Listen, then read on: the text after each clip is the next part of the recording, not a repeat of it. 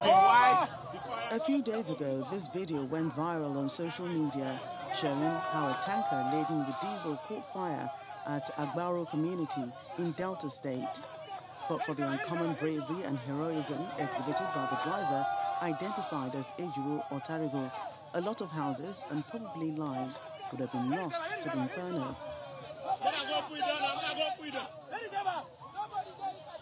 The story has it that the driver had just loaded his tanker with diesel and was driving sane to its destination. A few minutes after leaving the loading bay, he was alerted that the tanker had caught fire.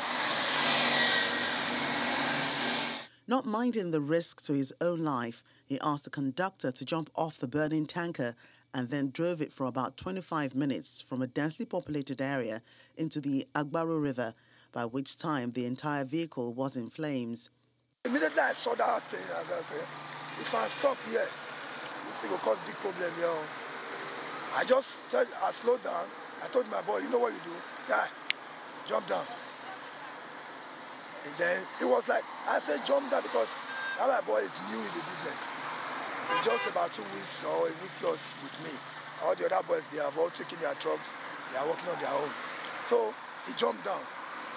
What was in my mind then was like, hey, Juro, carry this truck, try drive and reach Agbarho River, which is the river behind me here.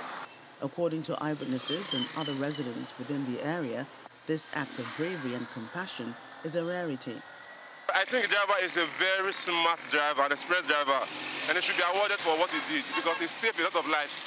The, the driver has displayed gallantry. He made himself a good captain. The duty of a captain is to protect people in order to save lives and property in Agbarho and environ. He, he, he almost sacrificed his life. Ejiro thanks Nigerians for their prayers and support, saying he is happy that he helped to avert a disaster. Men of God has prayed for me, congregation, my community Agbarho. Everywhere I go now, they point at me, that's the guy, that's the guy. Everything that comes from their mouth is prayer.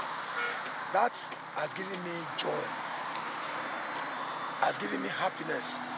The Delta State government also commends this gesture, urging other Deltans and Nigerians to emulate such compassion for others. The state government, we don't take him for granted. We have reached out to him, first to commend him. The governor directed that uh, we should also invite him to Asaba for the state to give him a letter of commendation from the office of the SSG. We have also issued a statement to let everybody know across the length and breadth of this country and indeed the entire globe that we appreciate this is act of heroism. While Ejiro Otarigho is touched by this commendation, he insists that he can sleep better knowing that his actions saved the lives of many people and properties in an incident that could have turned ugly.